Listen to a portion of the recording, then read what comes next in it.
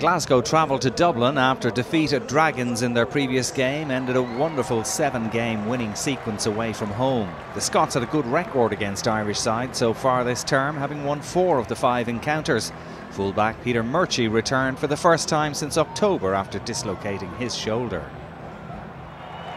With Munster having been beaten earlier in the evening, the home side went into this game knowing that a win would see them go back to the top of the table. Coach Matt O'Connor made wholesale changes for the game, including an entirely new pack featuring several returning Irish internationals. Luke Fitzgerald was a late withdrawal, Sam Coughlan Murray replaced him, Ian Madigan was making his 99th appearance for the Blues. The night started well for the home side with just six minutes gone. Centre Noel Reid danced his way to a fantastic try. The Dubliners' fourth of the season, and in what was always going to be a competitive game, it was the perfect start for O'Connor's men. Madigan added the two points, and it was 7 0, seven minutes in.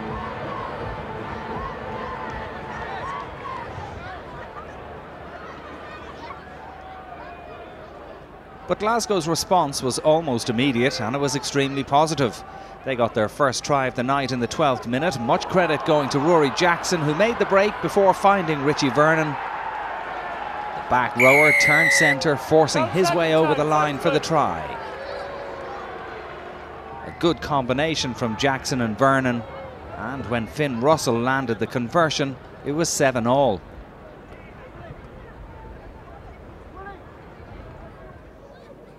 Shortly after that, a Madigan penalty edged Leinster back in front, 10 points to 7. This with 18 minutes gone. But once again, Warriors came back at the hosts, and in the 23rd minute, the Scots got their noses in front. After good work from the pack, setting up a dangerous attacking position, the ball was fed wide to Vernon, who dived over for his and Glasgow's second try of the night. Unfortunately for the Scots, Russell's conversion was off target, but they were in front, 12 points to 10.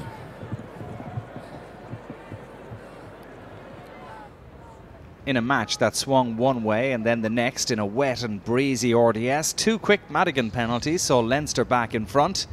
This the second of them on the half hour for a 16-12 lead for the home side.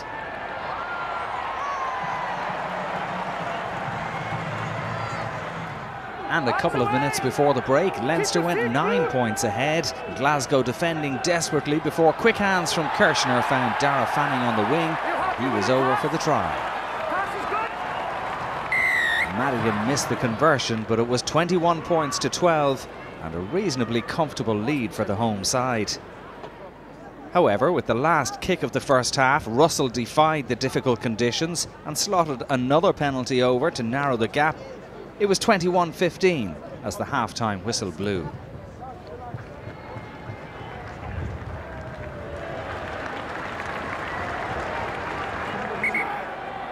There was less than a converted try between the sides, and 10 minutes into the second period, Glasgow were back in front.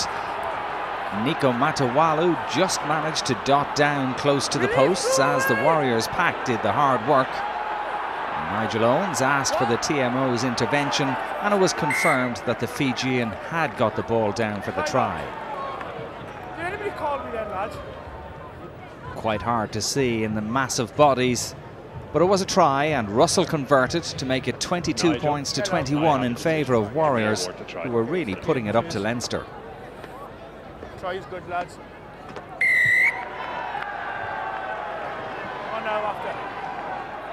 However, once again, the lead changed hands in the 63rd minute when Leinster's number six, Rhys Ruddock, got over after a period of sustained pressure right on the Warriors' line. It may not have been a thing of great beauty, but it was an invaluable score for O'Connor's men. Ruddock using his size to just about get the touchdown, and the ref was well placed to award the try this time.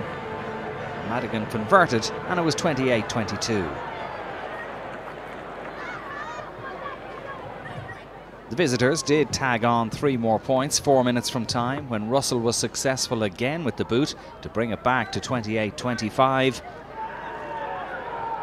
that's how the game would finish as Warriors ran out of time. So Leinster go back to the top of the table after this win. The Scots take a losing bonus back home and remain fifth in the standings. Final score at the RDS in front of a crowd of 14,500, Leinster 28, Glasgow Warriors 25.